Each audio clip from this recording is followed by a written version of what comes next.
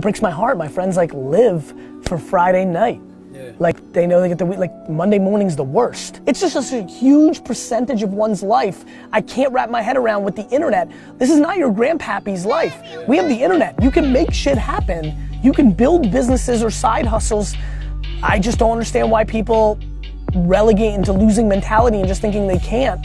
You can't because you want to be on the bowling team or softball or play video games. That's why you can't. There's plenty of time. Get shit done. The level of complaining is unacceptable. Look, what if I told you this was the last Monday morning of your life? What if I told you you die this week? Would you complain about your crap job or that test you don't want to take? I doubt it. You would go much higher level thinking.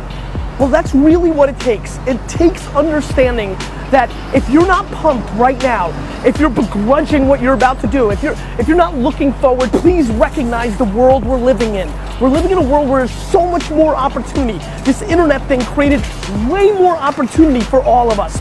Way more. I mean, look, you might not even be alive. Like, your mom and dad could have had sex like three minutes later and you wouldn't even exist and you're complaining. You could have ended up being a bus, a tree. I just don't get the mentality of being head down sad on a Monday morning. I'm gonna make Monday morning my bitch. I'm gonna make you Saturday Monday morning. That's what I wanna do every morning, and that's what I want from you. Please take a step back and think about how awesome it actually is.